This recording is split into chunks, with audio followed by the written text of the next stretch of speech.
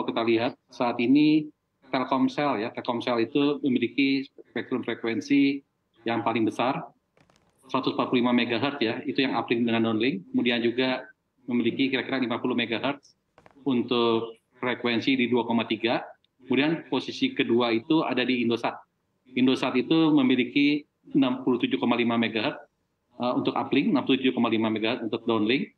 Dan kemudian itu secara total kita bilang 135 MHz. Kemudian juga uh, Excel yang posisi ketiga, dia itu mengoperasikan 45 MHz untuk uplink, 45 MHz untuk downlink. Kemudian SmartFriend operasikan untuk yang uplinknya 11 MHz, 11 MHz untuk downlink, dan memiliki juga yang di 2,3 ya, uh, TDD di 40 MHz.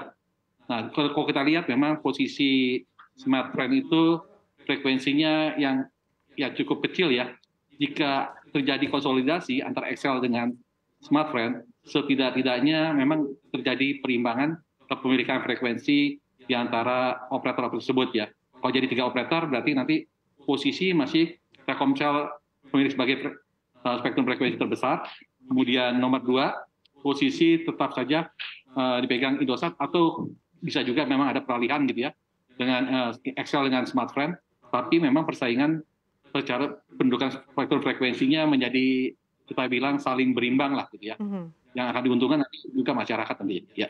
Demikian. Oke, jadi memang dengan adanya uh, konsolidasi atau merger ini bisa membuat adanya keterseimbangan frekuensi ya Pak Ian.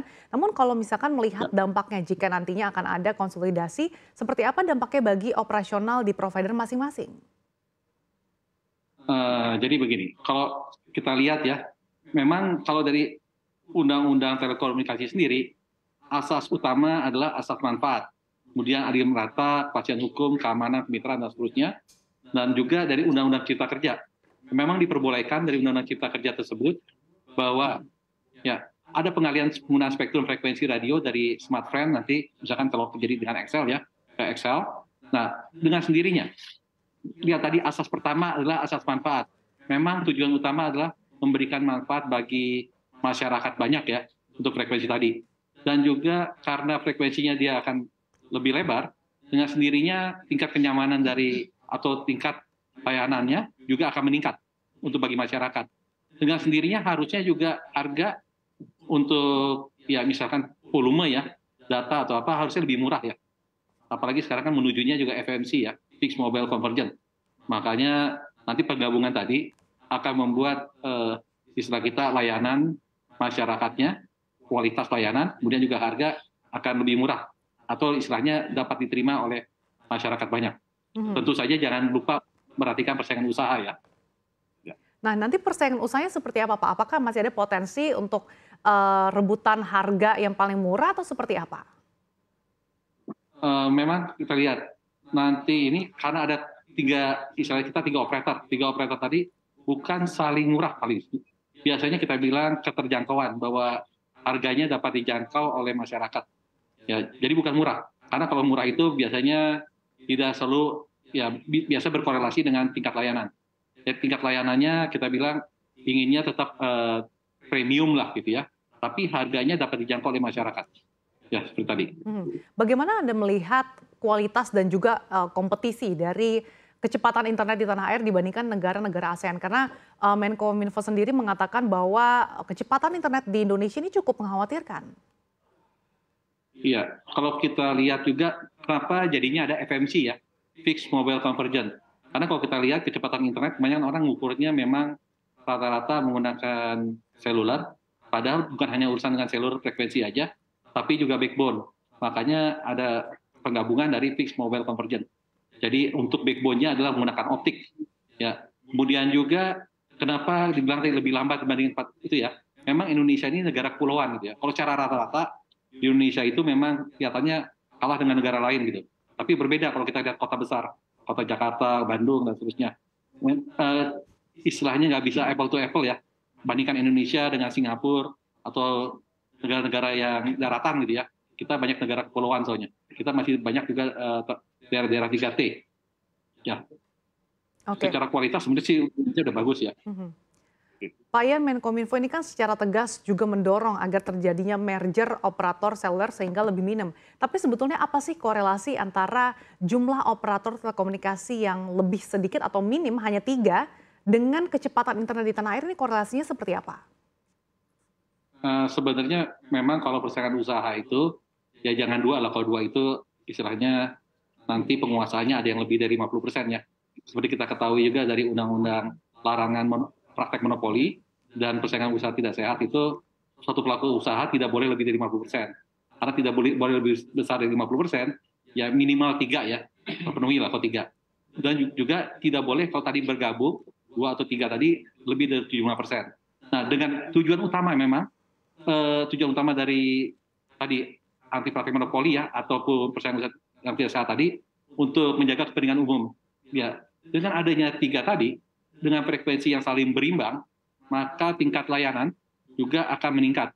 Kemudian juga harus daya jangkau masyarakat bisa juga uh, membuat lebih murah ya. Istilah kita apalagi dengan FMC, Fixed Mobile Convergence. Jadi pesan satu dapatnya dua. Nggak ada istilah nanti berlangganan, saya berlangganan telepon di rumah atau juga internet di rumah. Kemudian, oh saya tapi tidak punya nih yang uh, data untuk selulernya. Jadi pesan satu dapatnya dua gitu. Nah memang kualitasnya akan lebih meningkat secara integrasi dari dua perusahaan bergabung dengan sendirinya secara keuangan meningkat, kemudian secara operasional biayanya akan menurun, ya. Kemudian tadi juga infrastrukturnya seharusnya dengan kewajiban membangun di Indonesia-nya mereka akan juga lebih kuat ya. Kan ada kewajiban untuk membangun seluruh Indonesia dengan memiliki frekuensi izinnya izin uh, se-Indonesia gitu. Ya. Oke, Pak Ian, tapi sejauh ini apakah ada regulasi atau mungkin hambatan hukum yang menghambat proses merger uh, di antara perusahaan telekomunikasi di tanah air? Ya, yang harus diperhatikan sebenarnya bukan hanya empat dari penyelenggara seluler ini ya. Kan kita juga ketahui ya penyelenggara uh, telekomunikasi itu ada juga ISP, Internet Service Provider. Bagaimana mereka juga tetap hidup. Nah itu yang harus diperhatikan juga. Jadi bukan hanya istilahnya oh ini uh, big four yang di atas menjadi tiga big three gitu ya. Tapi juga ada beberapa operator-operator lain yang harus diperhatikan. Ya, karena istilahnya kadang-kadang untuk daerah tertentu yang lebih bisa menjangkau mereka ya, yang mereka-mereka itu yang uh, eh, ISP-ISP tertentu, nah itu yang harus diperhatikan juga. Hmm. Gitu. Jadi cara persaingan usaha jangan sampai mengakibatkan perusahaan-perusahaan ISP lain malah uh, pada tumbang gitu ya. Hmm. Bagaimana agar uh, rencana konsolidasi atau merger ini tidak uh, menghasilkan keputusan yang bisa dikatakan uh, terpaksa atau terkait dengan mergernya konsolidasi di antara sejumlah emit, uh, provider telekomunikasi ini, Pak Ian? Ya, sebenarnya memang kalau kita bilang ya konsolidasi, apalagi bentuknya dalam bentuk merger, uh, harusnya sudah diperhitungkan secara kelayakan bisnis. Karena kelayakan bisnis itu membuat ya perusahaan tadi itu jadi ya tetap uh, established ya. Jadi secara bisnis baik kemudian layanan ke masyarakat juga uh, kualitasnya jadi juga tambah baik dan manfaat bagi masyarakat juga lebih baik ya. Mm-hmm. memang nanti harus diatur kembali mungkin dalam bentuk undang-undang ya. Dalam undang-undang oke okay lah jadi, jadi tiga perusahaan tadi ya. Tapi tetap harus memperhatikan perusahaan-perusahaan lain yang di bawah di bawah mereka gitu ya yang ISP ISP lain ini ada undang-undang uh, memang persaingan usaha yang sehat ya diharapkan, tapi membahasnya lebih jauh.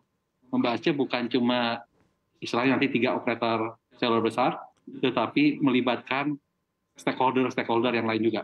Mm -hmm. Ya,